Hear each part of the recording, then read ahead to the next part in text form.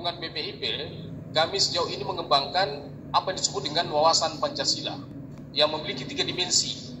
Dimensi pertama itu dimensi keyakinan. Dimensi kedua, dimensi pengetahuan Pancasila.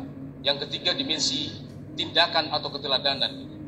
Dimensi keyakinan, inilah yang diandaikan Bung Karno bahwa Pancasila itu bukan hanya meja statis dan juga sekaligus dia sebagai lestar dinamis. Apa itu meja statis? Inilah yang disebut oleh Pater Leo Kleden tadi bahwa Pancasila itu sebagai ideologi pemersatu dari kepelbagian yang ada itu gak bisa diganggu. Dia menjadi ideologi pemersatu. Tapi juga dia menjadi bintang penuntun pergerakan kebangsaan ke depan. Itu sebabnya harus diyakini oleh setiap warga negara Indonesia bahwa dengan Pancasila bisa mempersatukan kemajemukan sekaligus bisa menjadi bintang pemandu pergerakan kebangsaan ke depan. Itu keyakinan.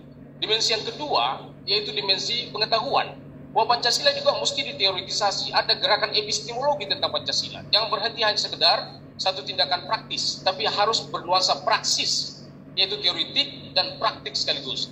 Itu sebabnya salah satu bentuk pra, uh, teoritis adalah membentuk teoritisasi Pancasila. Pancasila sebagai gerakan keilmuan. Dan yang terakhir, Pancasila sebagai tindakan, Pancasila sebagai teladan. Ketiga dimensi inilah yang kita kembangkan dalam strategi pembumian Pancasila. Mudah-mudahan perjumpaan ini bisa menginspirasi kita dan memperkaya hasanah kita. Terima kasih. Salam Pancasila. Baik, luar biasa.